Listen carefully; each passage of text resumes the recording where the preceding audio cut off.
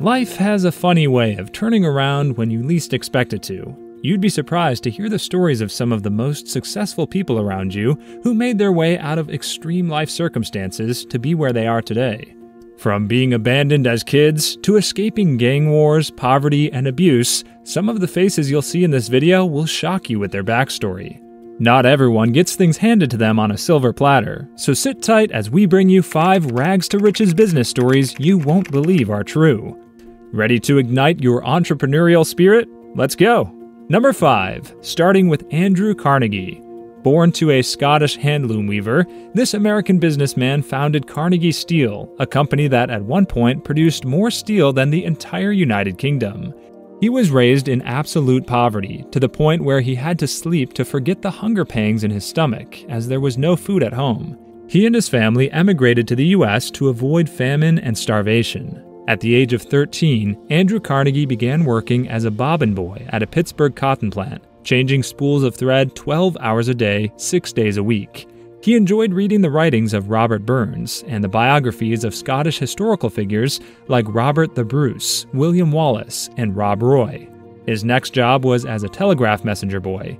He was a true businessman who worked hard and was soon promoted to operator. The 400 volume personal library of Colonel James Anderson, which he made available to working boys every Saturday night, greatly aided Andrew Carnegie's education and love of reading. He went on to do numerous railroad duties and picked up knowledge about the sector and business in general there. He started making hugely profitable investments in steel and energy firms around this time. All that hard work and knowledge paid off, the Carnegie Steel Corporation became the world's biggest company of its sort by 1889, and he eventually rose to become the richest man on earth. One of the builders of America, he sold Carnegie Steel to J.P. Morgan in 1901 for $480 million and went on to become a philanthropist. He built the Carnegie Institute of Technology in Pittsburgh, which is today known as Carnegie Mellon University donated millions to the New York Public Library, started the Carnegie Foundation for the Advancement of Teaching, and founded the Carnegie Endowment for International Peace. What an inspirational life, from absolute poverty to becoming one of the biggest philanthropists in the USA. Number 4, next up is Samuel Walton. Do you know the story behind the biggest supermarket chain, Walmart?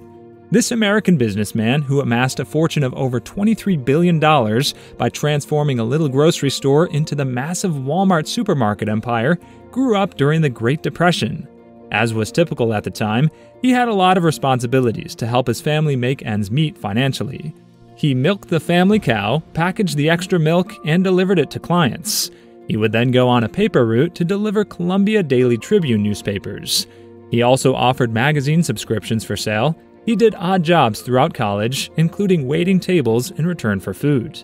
He enlisted in the U.S. Army after receiving his degree during World War II, and after the war ended, at the age of 26, Samuel Walton began running a general merchandise store.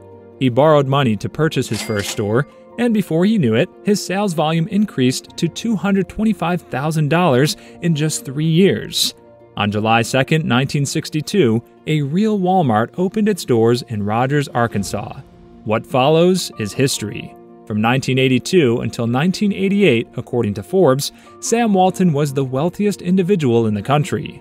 He owned 1,960 Walmart locations, employed 380,000 people, and had annual sales of nearly $50 billion at the time of his death in 1992. Don't go anywhere, we've got the most famous TV personality coming up next, and you'd never believe the struggles they overcame. Number 3. Now for Oprah Winfrey.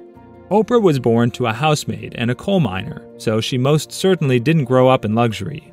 Things were so bad that she was molested by family members, and living in poverty, she had to wear clothes made of potato sacks. Her life took a turn after landing a job as a newsreader at a local black radio station. There was no turning back for this television personality once she landed her first talk program in Chicago. But wait, it wasn't so simple. The queen of media and the wealthiest African American of the 20th century, Oprah Winfrey, is best known for her multi award winning talk show, The Oprah Winfrey Show, the highest rated program of its kind in history. She was born into poverty to a young single mother in rural Mississippi. Later, she was brought up in an area of Milwaukee's inner city She has frequently discussed the difficulties she faced as a child, claiming that at the ages of 9 and 13, she was sexually abused and fled her home as a result of years of abuse. At age 14, she became pregnant, and her infant son passed away tragically. She found a job in radio while still in high school, and at the age of 19, she started co anchoring the neighborhood evening news. Because of her emotive ad lib delivery, she was moved to the daytime talk show scene. When her talk show became a nationwide hit, she became a millionaire at the age of 32. From 2004 to 2006, she was recognized as the only black billionaire in the world and the first black woman to ever be a billionaire on Forbes' global rich list. As of 2014, she has surpassed Meg Whitman, the former CEO of eBay, as the richest self made woman in America with a net worth of more than $2.9 billion.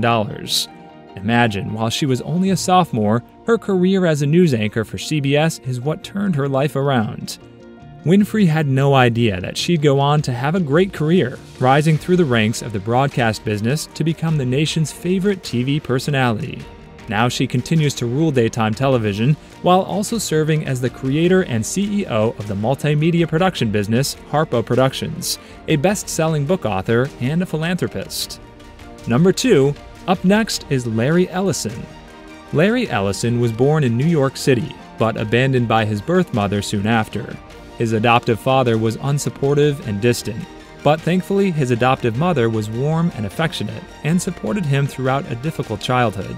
He was a gifted but disinterested student, and things got worse after his adopted mother passed away just before he left for the University of Illinois. Later, he spent one term at the University of Chicago, where he learned about computer design for the first time. At the age of 22, he relocated to Northern California in 1966. He invested $2,000 and two partners to launch Software Development Laboratories in 1977. The business changed its name to what we know now as Oracle Systems Corporation in 1982, in honor of their marquee item, the Oracle database. Ellison currently has stock in Aztecs Pharmaceuticals, Quark Biotechnology Inc., NetSuite, Salesforce.com, and NetSuite.com. He was ranked as the fifth richest person in the world in September 2011, according to the Forbes list of billionaires. With a net worth of around $119.5 billion, Ellison is currently the fourth richest American. Number 1. Coming up, Li Ka-shing. In April 2014, this Hong Kong business entrepreneur, investor, and philanthropist was the wealthiest person in Asia with a net worth of $32.6 billion. But where did it all begin?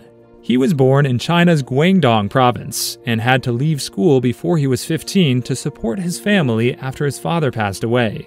He worked 16 hours a day at a plastics trade company. After years of hard labor, he went on to create Kong Industries, his own business. Li offers a lesson in honesty and adaptability from his lowly origins in China as a teacher's son, a refugee, and as a salesman. He was able to create a business empire that encompasses banking, construction, real estate, plastics, cell phones, satellite television, cement production, retail stores, hotels, domestic transportation, airports, electric power, steel production, ports, and shipping through hard work and a reputation for upholding his moral principles. Almost every aspect of Hong Kong life is now covered by Li's businesses. From power to telecoms, real estate to retail, shipping to the internet. With operations in 55 countries, the Cheung Kong Group has over 260,000 employees worldwide. We can bet you didn't know the stories of struggle behind these familiar faces. These inspirational figures turn their lives around from sheer hard work, proving that anyone can make their way up from rags to riches with the right kind of attitude. Thanks for watching. We'll see you next time.